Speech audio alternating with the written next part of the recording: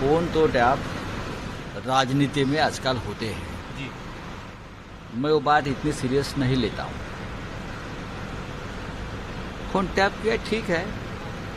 अभी आदत हो गई है गृह मंत्रालय को। जो अपने विरोधी है उनके ऊपर नज़र रखे उनकी फ़ोन की जो बातें होती है वो सुने। लेकिन फ़ोन टैप करने के बावजूद भी महाराष्ट्र में हमारी सरकार बनी है। हमारे पर कोई फ़र्क नहीं पड़ा है। सरकार तो बनी ना। षड्यंत्र रचा गया रचने दो। अब उसकी जाँच चल रही है।